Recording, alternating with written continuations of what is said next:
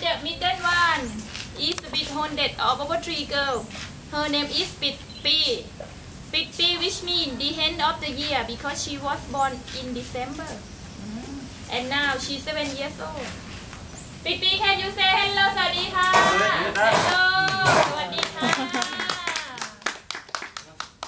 And last one Hachu Hachu like a Hachu Just kidding And actually, she is about five years old. Ashu, can you also say hello? Say hi. Try again. Again, please.